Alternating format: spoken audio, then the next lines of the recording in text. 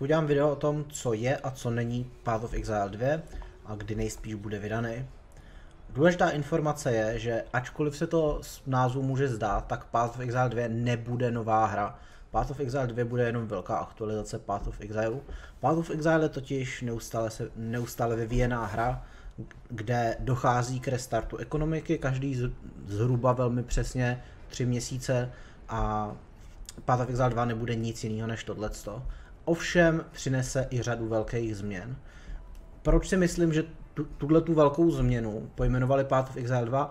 Myslím, že to udělali hlavně z marketingového důvodu, protože když nějakýmu recenzentovi řeknete, nechcete zrecenzovat na naší 25. aktualizaci Path of Exile, tak náhodný recenzent si řekne, nevím. Zatímco když řeknete, Path of Exile je momentálně nejúspěšnější MMORPG a teďko vydáme Path of Exile 2 a ten recenzent o Path of Exile do té doby neslyšel, tak to je něco, prostě nová verze, na to se koukne. Takže myslím si, že toto je hlavní důvod. Je to ovšem zavádějící pro lidi, kteří by to třeba chtěli hrát. Důležitá věc je, že Path of Exile je free to play hra. Skutečně nemusíte do ní dát vůbec žádný peníze a můžete hrát prakticky plnohodnotně. Je pár věcí, do kterých bych doporučil dát peníze, což jsou především stešteby, jsou, uh, kde pak mám ještě, to jsou tyhle, ty, to jsou tyhle ty záložky, kterých ze začátku máte tuším čtyři a můžete si jich koupit víc. To bych doporučil. Když tak jsem udělal přímo i video, něco jako kolik stojí free, free to play hra Path of Exile, něco jako napravo nahoře se na to můžete podívat. A, a to je podle mě jediná věc, která nějakým způsobem ovlivňuje hratelnost.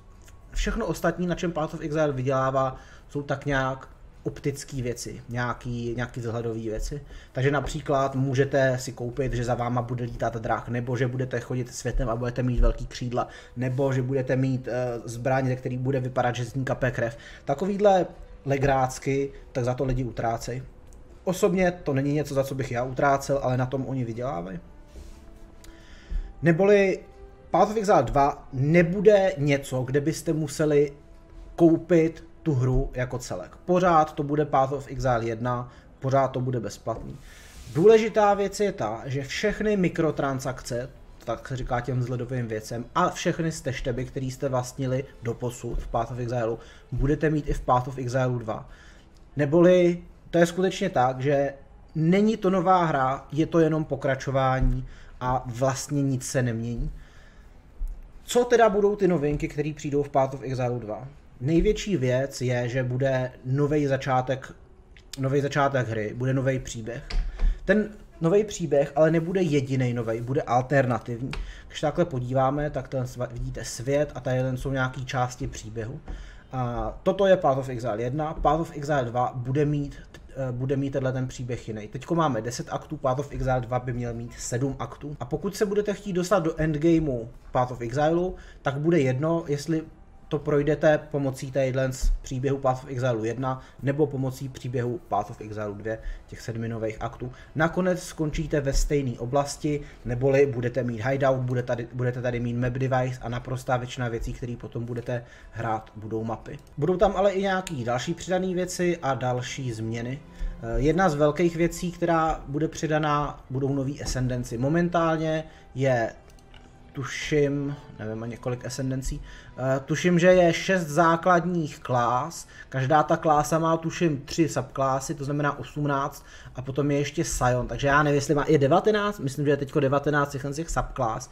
A oni plánují do Path of Exile 2 přidat dalších 19, což bude hodně velký. Uh, dále dojde ke změně. A to ke změně jakým způsobem funguje linkování předmětů. Současný Path of Exile je dost charakteristický, že máte předměty a na nich máte tyhle ty sokety, které jsou linknutý. V Path of Exile 2, neboli od, od toho vydání, dojde ke změně, že už nebudou mít tyhle ty linky na sobě předměty, ale budou to mít přímo gemy. Neboli místo toho, abyste měli například to luk, který je six linknutý, tak budete mít tady tornado shot, který je six linknutý. Já vám budu dávat k těmhle s těm věcem i nějaký výstřižky, případně odkazy na videa, kde o tomhle tomu mluvili. Eh, o tomhle tom se například mluvilo na ExileConu, kde byl Path of Exile 2, do té doby známe jako Path of Exile 4.0, protože právě jsou to tyhle, ty, tyhle ty jenom aktualizované verze, tak tam o, o těchto těch nových systémech mluvili.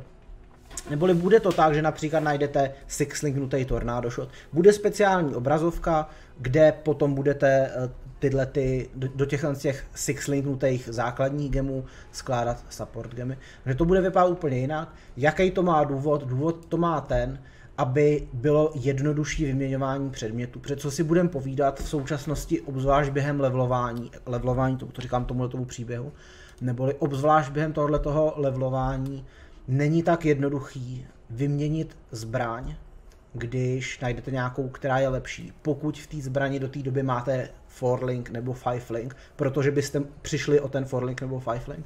Takže tohle to bude určitě dost podstatný zjednodušení pro nový hráče. Nevím, jestli to, jestli to trošku nestratí potom charakter ta hra, to, je, to, to není úplně předmětem eh, tohohle toho videa. Tím jsme probrali informace, co vlastně bude Path of Exile 2 a teď se dostaneme k tomu, kdy bude vydaný.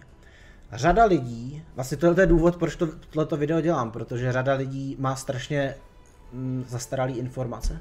Takže první informace o tom, že bude Path of Exile 2, byl uvedený na ExileConu. To bylo tuším v listopadu no, nebo je novembr roku 2019.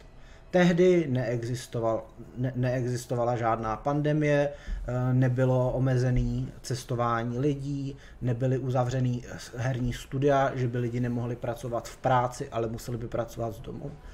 Tehdy, když, když ještě žádný takovýhle katastrofický plány nebyly, byl předpoklad, že by Path of Exile 2, neboli ten příběh nový, mohl být hotový do konce roku 2020.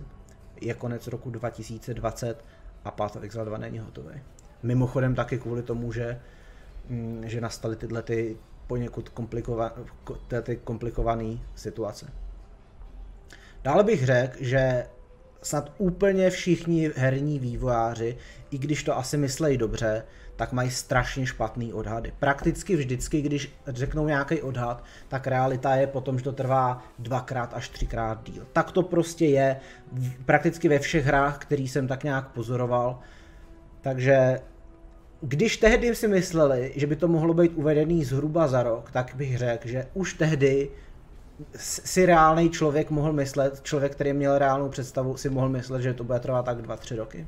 Dostáváme se do roku 2020, do července, to je jůl, tak to už jsme za sebou měli první, první vlnu koronaviru, Nový Zéland, kde je GGG, výváři této hry, eh, kde pracují, tak ten už měl za sebou lockdown, to znamená, že lidi nemohli pracovat z práce, ale pracovali z domova. Eh, v tomhle systému oni vyvíjeli jednak ligu, co to bylo zač? Delirium?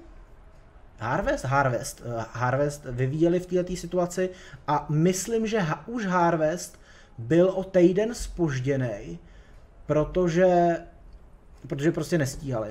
Totálně, totálně to, že pracovali s domova, jim narušilo workflow, takže jim to trvalo díl. Oni si mysleli, že jo, a už v tu chvíli oni říkali, no, vyvinout druhý akt Path of Exile 2, jak jsem říkal, celkem má být sedm aktů a na ExileConu v roce 2019 byl neúplně kompletní, ale tak nějak akt 1 k předvedení. Takže dalo by se říct, že tehdy byl prakticky hotový akt 1. A v tom sedmi měsíci roku 2019 říkali, doděláváme akt 2, pomalu začínáme pracovat na aktu 3. Neboli vyvinout jeden akt jim v tu chvíli trvalo zhruba rok. To by znamenalo, že když v roce 2019 měli jeden akt, v roce 2020 měli dva akty a pokud bychom šli tímhle s tím tempem, tak dalších pět aktů by bylo zhruba na rok 2025. Zároveň ale říkali, Mimochodem všechny tyhle ty informace, to není nějaký, nějaký kamarád někde říkal, tamhle to náhodný redaktor psal před rokem a půl. Tohle to jsou informace, které říkal přímo CEO, on je to managing director, v zásadě je to nejvyšší funkce, eh, ředitel této firmy, která to, která to uvádí tu hru, která, která ji vyvíjí. Neboli není nikdo věrohodnější, kdo by mohl mít přesnější informace. Zase odkaz na tohleto video dám někam do popisu videa. Neboli v, tu, v tu dobu tyhle ty informace on říkal, takže pokud by stejnou rychlostí docházelo k vývoji, pravděpodobně by Path of Exile 2 vyšel kolem roku 2025. Zároveň ale říkal, teďko už jsme se naučili, jakým způsobem se pracuje v lockdownu, trošičku jsme změnili nějaký systém, jakým vyvíjíme, mělo by to teď jít o něco rychleji. Tak pokud budeme celkem optimistický, tak bych řekl, že místo toho, aby jim akt vyvinout trvalo rok, tak by se to mohlo zkrátit na nějaký zhruba půl rok. To znamená, jsme v roce 2020, zbývá zhruba pět aktů. Akt 3, 4, 5, 6, 7. Tak buďme ještě trošku víc optimistický než půl roku. Řekněme, že těchto těch pět aktů by mohli stihnout za dva roky. To by znamenalo, že nejdřívější termín, který mi připadá reálný, že by mohl být Path of Exile 2 uvedený, je konec roku 2022. Je ještě několik, několik vlivů, který, na, který to můžou ovlivnit. Jedna věc je pochopitelně celková zdravotní situace světa, jestli se jim otevře eh, otevře práce, anebo jestli pořád budou muset pracovat z domova, případně jaký poměr těchto těch, těch, těch systémů práce bude pokud budou někde 11 měsíců pracovat z domova, je to něco jiného, než kdyby pracovali 11 měsíců z práce. Takže toto může ovlivnit. A zároveň, pa, eh, zároveň Diablo, nebo Blizzard, oznámilo vydání Diabla 4. Ovšem neoznámili žádný termín. Eh, vývoj Blizzardních her trvá velmi dlouho.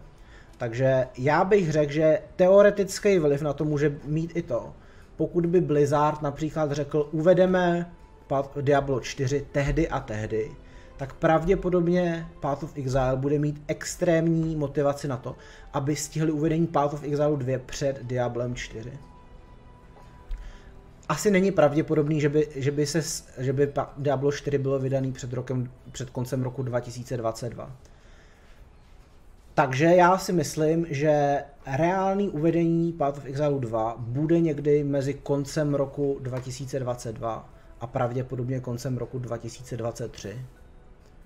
Zkuste mi, zkuste mi říct, jestli si myslíte, že, že to bude nějak jinak, případně jestli máte nějaký od, odkazy na zcela oficiální, nic jiného než, než Chrise Wilsona, což je ten jejich velitel, nebo Bex, což je jejich community manager, nic jiného prakticky není relevantní pro tuhle tu diskuzi. Musí to být přímo od od zaměstnanců té firmy, kteří jsou na této nejvyšší úrovni, neboli musí to být buď na jejich stránkách, nebo to musí být na nějakém videu. Já bych řekl, že tohle je velmi objektivní pohled na situaci, neboli od současnosti, kdy tohleto moje video vydávám na konci roku 2020, bych řekl, že je zhruba 2 až 3 roky do vydání Path of Exile 2. Budu rád, když tohleto video budete sdílet s lidma, který bohužel nemají úplně aktuální informace, Ehm, zachytili sice informaci kolem ExileConu neboli před rokem, že plán je vydat Path of Exile 2 kolem roku 2020, ale od té doby došlo k mnoha změnám a i oficiální zástupci firmy uvedli, že dojde ke změně plánu. Tak jo, doufám, že se vám video líbilo, dejte mu like a čau.